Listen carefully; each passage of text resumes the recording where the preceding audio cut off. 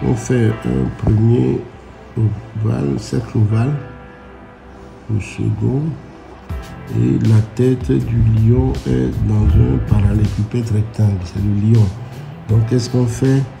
Eh bien, il est rectangle, eh bien nous allons maintenant faire sa crinière. Voilà, donc sa crinière est là, une petite échancrure là, et on a l'œil du lion.